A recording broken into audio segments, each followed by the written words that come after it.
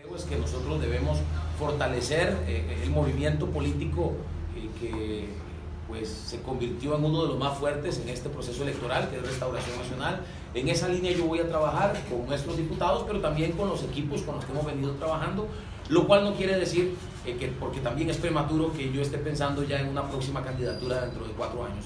Eso se verá en el momento, creo que no hay que forzar nada ni presionar nada. Recién salimos de este proceso y, pues hay muchas cosas que, que analizar. No lo descarto, pero tampoco estamos pensando en eso.